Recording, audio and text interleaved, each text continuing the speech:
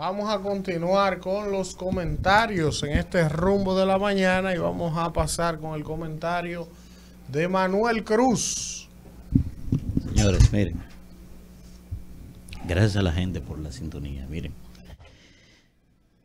Quiero reflexionar con ustedes sobre el tema del discurso haitiano, ¿verdad? Miren, hay una variable que es fundamental a la hora de desarrollar políticas públicas, tanto en materia bilateral como en materia multilateral, y sobre todo para definir también el discurso gubernamental de esas políticas públicas. Y es el hecho de que lo primero que se debe hacer es preconfigurar cuáles son los elementos constitutivos que dan vida al poder nacional.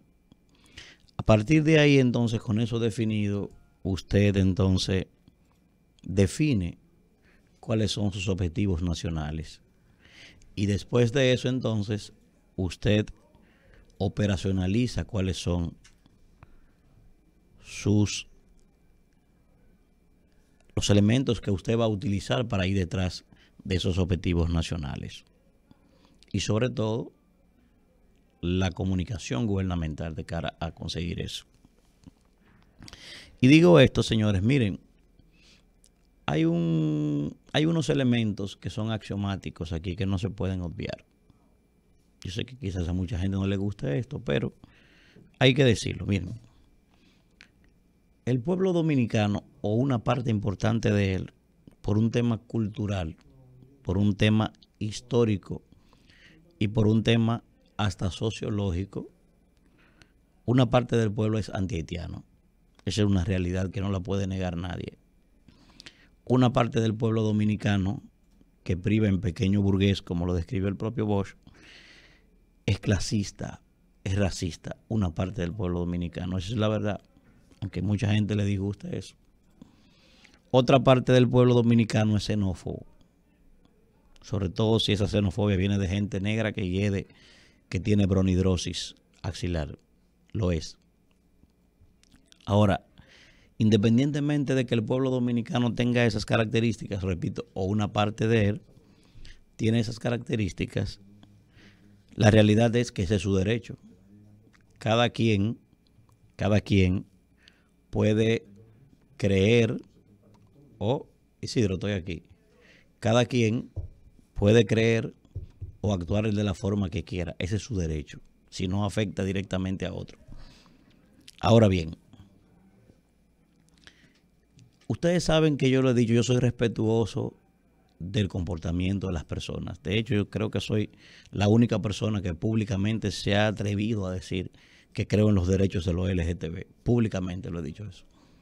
Y estoy convencido de eso, de que esa gente tiene derecho a hacer con su vida lo que le dé la Real Academia de la Lengua Española. Ahora bien, si el dominicano tiene todo eso que yo he descrito, con razón o sin ella, el dominicano común, el dominicano llano, puede tenerlo.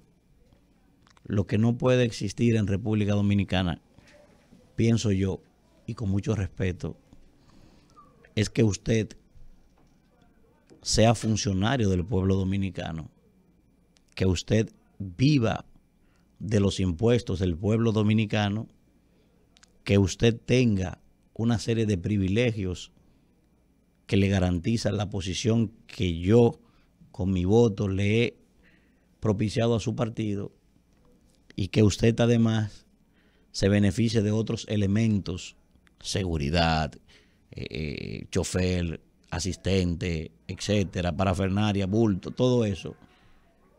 Y que encima de eso entonces usted salga a pregonar con el fruto de mis impuestos todo lo contrario a lo que yo creo. Y no estoy hablando de mí, porque yo soy creyente de que los haitianos en este país tienen que tener otras condiciones. Yo soy creyente de que los haitianos son una necesidad para la República Dominicana. Yo soy creyente de que la República Dominicana debe ser el principal país después de ellos preocupados por su situación, porque ellos sufren lo que están viviendo en carne viva, ahora las consecuencias las pagamos nosotros. Yo soy partidario de eso y he dicho, inclusive, he escrito sobre eso, he abordado diferentes formas ese tema y he dicho, se está trabajando mal. El tema haitiano no es un tema sociológico ni es un tema histórico, eso es un tema geopolítico. Y hasta que eso no se entienda en este país, no habrá solución para eso. Ahora, al margen de todo eso, los haitianos que están ilegales deben estar en su país. Todos, sin excepción de ninguno. Y no solo los haitianos, cualquier nacionalidad. Ahora, yo pienso que es una ignominia, pienso que es un irrespeto, es un oprobio que no se puede permitir en este país, de que usted esté disfrutando de mis impuestos y que yo, por la razón que fuera, repito, no estoy hablando de mí, Estoy hablando de una parte del pueblo dominicano que sé que quiere decir esto. Por la razón que fuera, yo no quiero haitianos en mi país.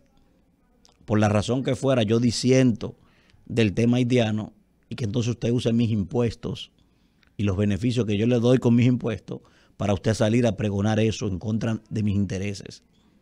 Eso es un irrespeto del que lo haga, de cualquiera. Y yo no sé por qué no sé por qué el presidente de la República le ha permitido eso a varios funcionarios.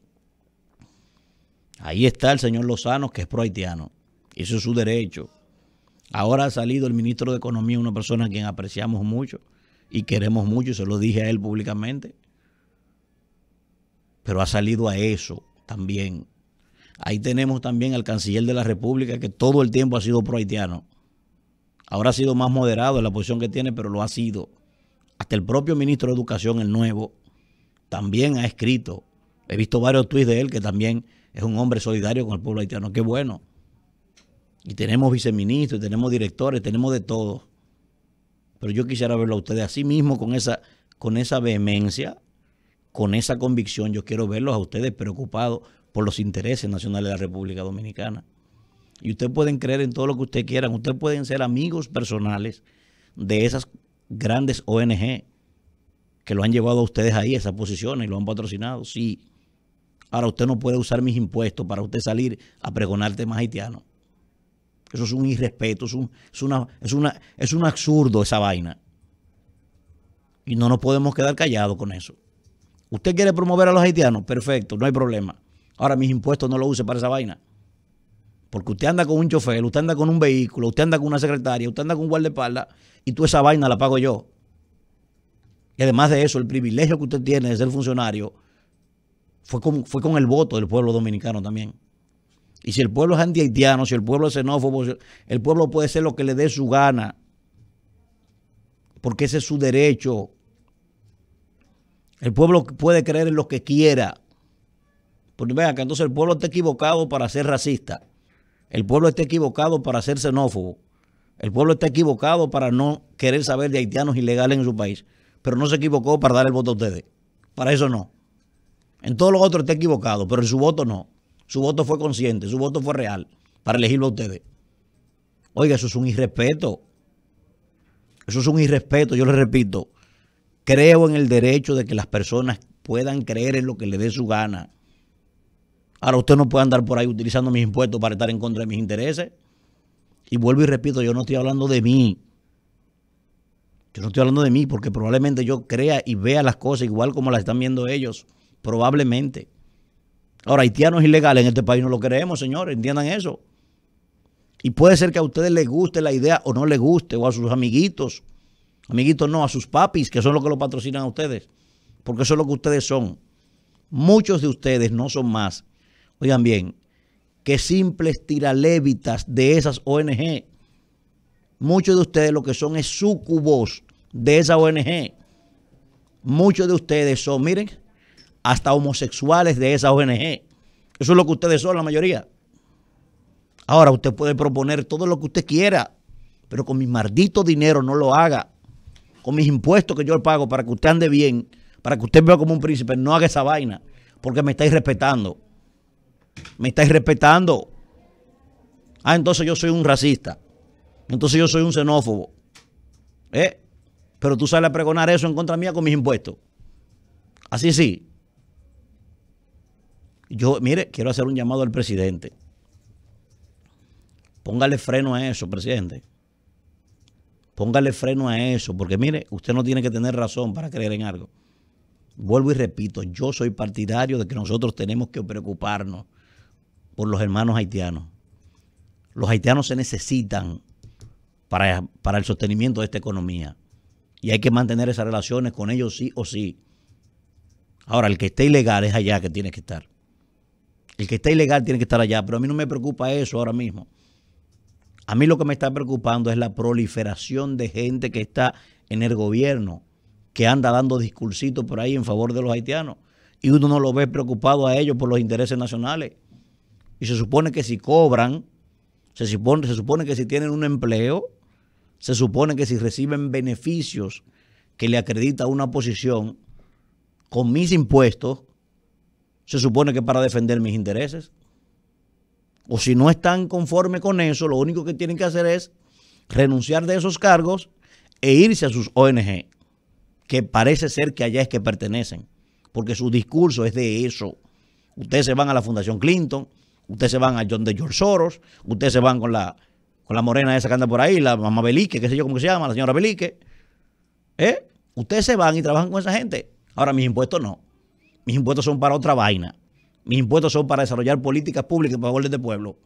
Váyase para el carajo con su discursito.